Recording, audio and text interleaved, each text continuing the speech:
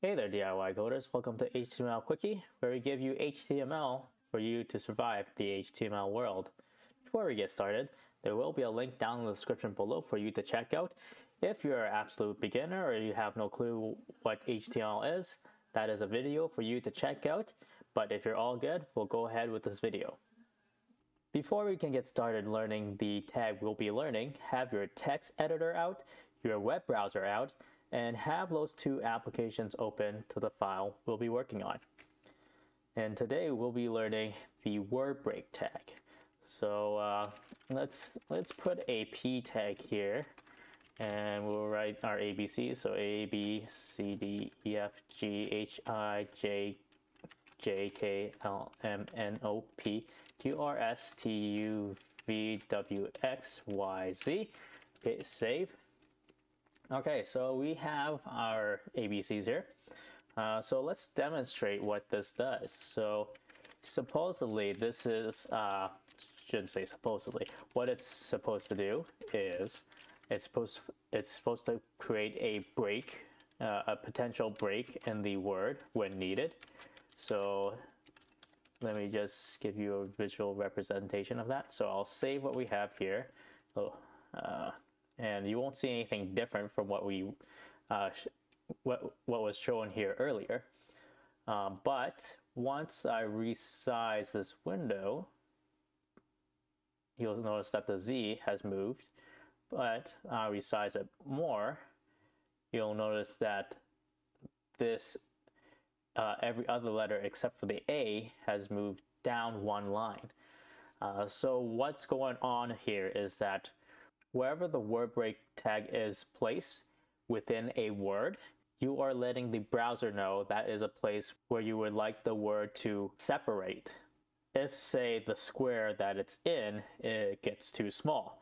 In this case, that square is our web browser. We'll make this window bigger again, and then you'll notice that all the letters are together again.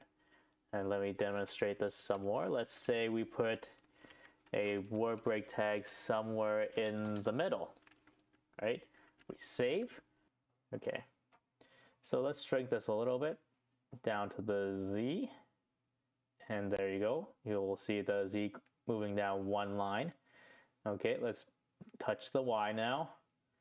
And there we go. We see half of the letters going down one line as expected by this, this uh, word break tag here. But what you'll also notice that where we put the word break between the Y and the Z, the Z is no longer in its own line, but it's with half of the letters that went down one line. Uh, that, that would be because that the Z no longer needs to have its own line because the Z itself is small enough to fit with this half of the letters. Okay, so now let's move towards the Z and what we get is the Z having its own line now because there's not enough room within this window for it to fit with the with one half of the letters. Okay, let's move it down more. And then because you'll notice that this line of so now you'll notice that this line of letters will not break apart. Instead, it will go beyond the view of the web browser that we have here. So now this is scrollable left and right in order to view the rest of the line of letters.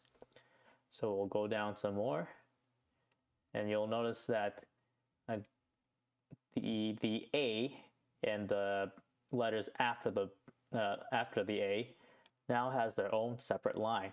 And that's how the WBR tag works. All right.